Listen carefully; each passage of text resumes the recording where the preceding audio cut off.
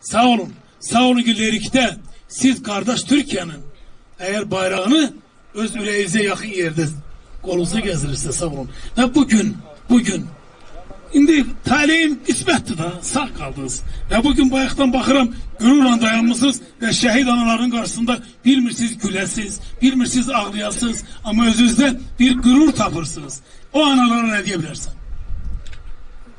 O anaların qarşısında baş əyirəm mən. Beləncə övladı yetişdiriblər.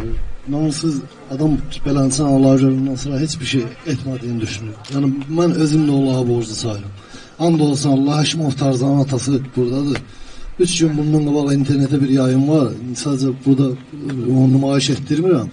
Həşimov Tarzanın şəhid olmada son anı uşaqlar onu daşıyır ki, bəs yoldaşlar deyir ki, yapışın belindən orada bir e, Sizdə səslə çıxardınız, ay Allah, öldüm, belim. Axırıncı sözü deyir mu? O internetdə yayılıb, o 10 milyon izləyir. And olsun Allah, mən ona baxan gündən, hansısa normalda müharibədən bu yana biz şükürlə qələbəmiz əldə eləmişik, amma o bizim hissəli ömrü bizləndir.